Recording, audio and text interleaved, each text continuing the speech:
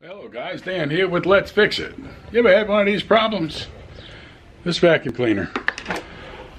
it won't lock, won't stay up.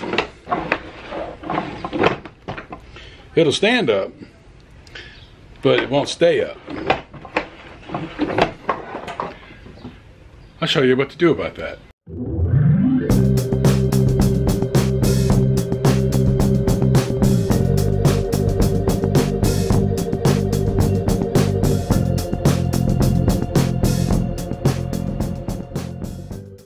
On this vacuum cleaner this is your foot release. And these things wear out. So what I'm going to do is replace this and I'll show you the steps to go through on how to do that.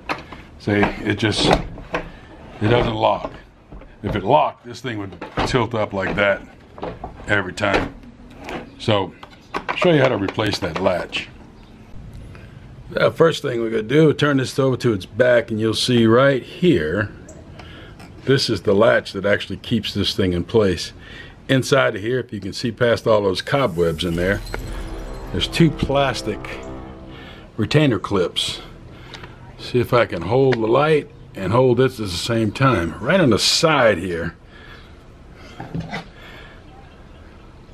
there's a plastic retainer right here, and then there's another one on this side.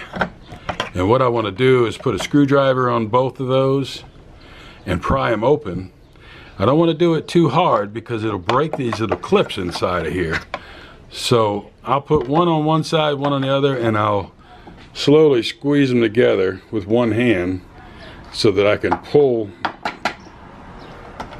the release out. All right, so what I've done is went ahead and put a screwdriver on one side of that little tab right there and I got this screwdriver on the other side and I just want to pull these into each other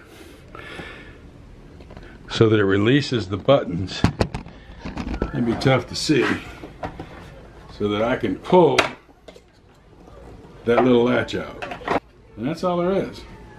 There's the broken one. That tab's supposed to be way down here. So let me pull the new one out of the packet show you what it looks like compared to the old one and then I'll show you how to reinsert that latch with a little foot release lever back to this vacuum cleaner. Alright, so you can see here's our old latch. You can see how much shorter this little spring here is. This one is broken off. This one is like it's supposed to be. And that's the problem of why this vacuum cleaner won't stand up putting it back together is really simple. And to do that, I'm going to go ahead and stand up the vacuum cleaner. Foot release. Now I'm going to go ahead and slip it into place.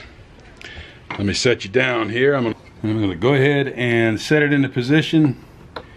Now, all these little tabs right here on both sides should line right up. This little piece here connects with a little slot there. So we'll slide it in and it snaps in place.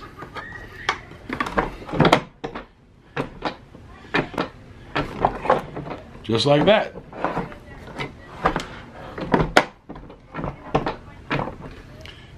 And that's how simple it is to replace the foot release on your Bissell upright vacuum cleaner. So now the next job on this vacuum cleaner is to go ahead and clean it all up. It's very dirty. Go ahead and empty the trays out, blow all the filter system out of it, clean the hose up, clean the cord up. We'll make this vacuum cleaner look new, or as close to new as we can get.